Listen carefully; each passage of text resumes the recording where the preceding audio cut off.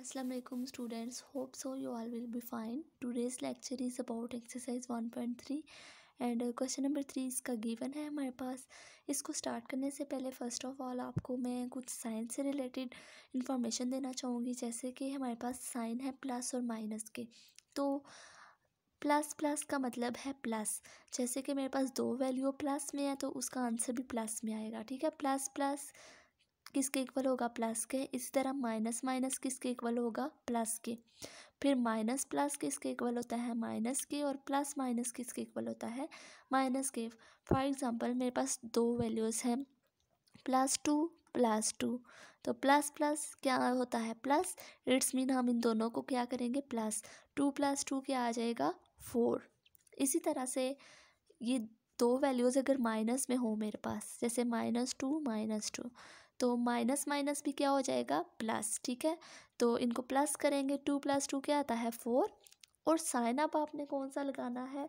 इन दोनों में से जो बड़ी वैल्यू के साथ है, लेकिन यहाँ पे तो दोनों सेम वैल्यूज़ हैं।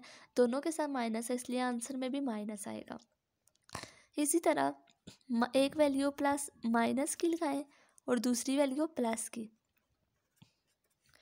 तो माइनस प्लस क्या होता है? माइनस। इट्स मीन हम इन दोनों को क्या करेंगे? माइनस। तो टू माइनस थ्री क्या आता है?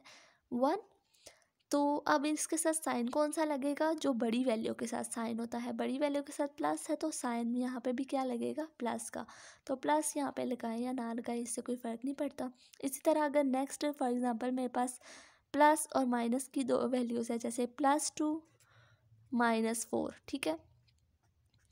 तो क्या होगा? प्लस माइनस क्या होता है? माइनस। तो इट्स मीन हम इन दोनों को आपस में माइनस करेंगे तो फोर में से टू माइनस करेंगे, क्या आ जाएगा? टू। और साइन इसके साथ आंसर में कौन सा लगेगा? जो कि बड़ी वैल्यू के साथ है। बड़ी वैल्यू फोर है, उसके साथ माइनस है तो आंसर में भी क्या आ जाएगा? माइनस। यहाँ पे देखें, दोनों वैल्यू सेम है, दोनों के साथ प्लस है तो आंसर में भी प्लस लगेगा। तो हम वो लगाएँ या ना लगाएँ, उससे फ़र्क नहीं पड़ता। तो ये कुछ चीज़ें थी जो आपको इस एक्सरसाइज को स्टार्ट करने से पहले पता होनी चाहिए थी। सो so, अब इसका फ़र्स्ट पार्ट हम स्टार्ट करते हैं जो मेरे पास गिवन है। अब यहाँ पे फ़र्स्ट पार्ट में है ए तो सबसे पहले ए मैट्रिक्स इसकी जगह पे लिख लेते हैं। ए की जगह पे इसका मैट्रिक्स लिख लेंगे। माइनस वन टू जो कि गिवन है। टू वन उसके बाद प्लस है तो वो एज इट इज़ और नेक्स्ट जो मैट्रिक्स है वो भी एज इट इज़ ठीक है? और यहाँ पे आप इक्वल लगाएँगे। इक्वल मस्ट लगाना है वरना आपके मार्क्स डिडक्ट हो जाएँगे। अब मिड में क्या है? प्लस और दो मैट्रिक्स हैं तो इट्स मीन आप इन दोनों मैट्रिक्स को प्लस करेंगे, ठीक है? इनकी वैल्यूज़ को। तो अब आप वो कैसे करेंगे? इसकी फ़र्स्ट वैल्यू इसके साथ प्लस करेंगे, इसकी सेकंड वैल्यू इसकी सेकंड वैल्यू के साथ थर्ड वैल्यू इसकी थर्ड वैल्यू के साथ और फोर्थ वैल्यू इसके साथ, ठीक है? तो हम पहले माइनस वन को किसके साथ? माइनस वन फिर ये प्लस का साइन और इसकी जो फ़र्स्ट वैल्यू है वो लिखेंगे। इसी तरह इसकी सेकंड वैल्यू टू मिड में स्पेस रखनी है। फिर ये प्लस और इसकी सेकंड वैल्यू क्या है? वन इस तरह इसकी थर्ड वैल्यू टू फिर मिड में क्या है? प्लस फिर इसकी जो थर्ड वैल्यू क्या है? वन फिर ये फोर्थ वैल्यू वन फिर ये प्लस का साइन और इसकी फोर्थ वैल्यू क्या है? वन इक्वल अब देखें माइनस प्लस क्या होता है? माइनस तो इन दोनों को माइनस करेंगे क्या आएगा? ज़ीरो। और ज़ीरो के साथ आपको पता है कोई भी साइन नहीं लगता। इसी तरह टू प्लस वन क्या होता है? ये तो सिंपल आपको पता है। थ्री। और बड़ी वैल्यू के साथ प्लस है तो प्लस लगाएँगे। लेकिन यहाँ पे हम प्लस नहीं लगाएँगे क्योंकि प्लस लगाएँ या ना लगाएँ उससे कोई फ़र्क नहीं पड़ता।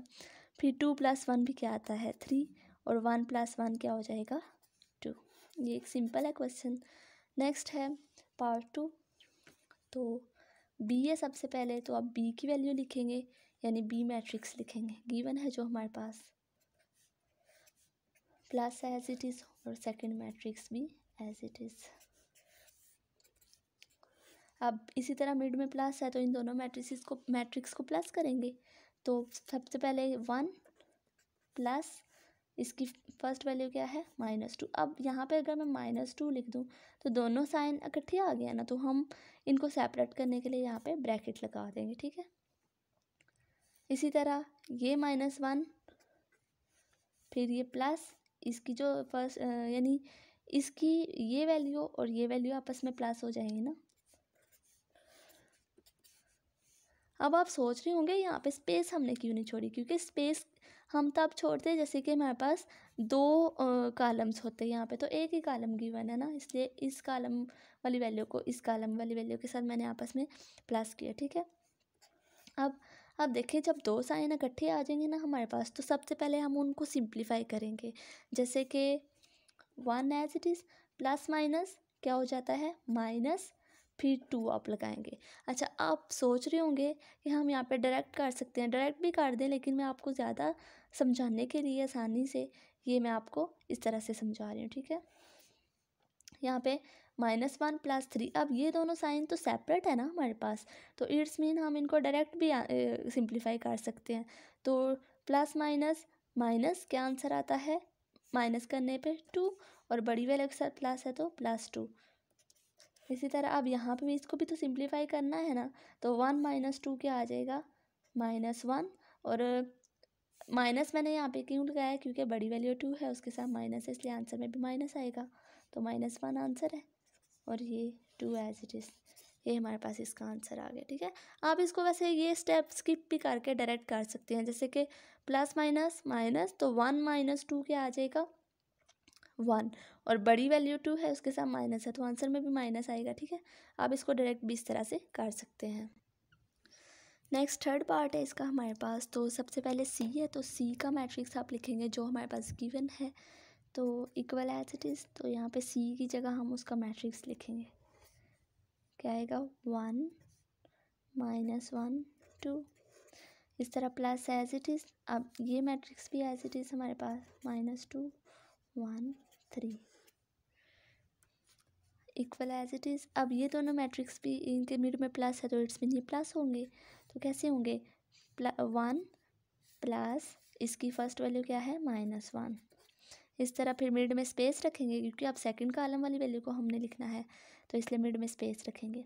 अब फिर माइनस वन प्लस इसकी सेकंड वैल्यू क्या है? वन इस तरह अब थर्ड कॉलम को हमने लिखना है तो इसलिए फिर मिड में स्पेस रखेंगे। फिर इसकी थर्ड वैल्यू क्या है? टू प्लस इसकी थर्ड वैल्यू क्या है? थ्री अच्छा प्लस माइनस क्या होगा? माइनस तो वन माइनस टू आ जाएगा। साइन जब हम सिंप्लीफाई करेंगे तो आप यहाँ पे देख सकते हैं वन माइनस टू तो यहाँ पे माइनस करने पे क्या आ जाएगा? टू में से वन माइनस करें वन और बड़ी वैल्यू टू है, उसके साथ माइनस है तो आंसर में भी क्या आएगा? माइनस वन तो यहाँ पे इसका आंसर माइनस वन इस तरह प्लस माइनस अच्छा यहाँ पे आप देख सकते हैं दोनों साइन इकट्ठे आ गया ना, इसलिए हम उसको सिंप्लीफाई करने के लिए हमें एक एक्स्ट्रा स्टेप चाहिए, जैसे कि मैंने आपको यहाँ पे एक्सप्लेन किया, ठीक है? वो आप इसी तरह रफ वर्क करके कर सकते हैं या आप कैलकुलेटर पे डायरेक्ट भी कर सकते हैं। अच्छा यहाँ पे तो सेपरेट है ना साइन एक मिड में है, एक साइड पे है। इस तरह आप इसको एक ही स्टेप में कर सकते हैं, जैसे कि plus minus minus one minus one क्या आता है? ज़ीरो इसी तरह, ये तो सिंपल है टू प्लस थ्री क्या आ जाएगा?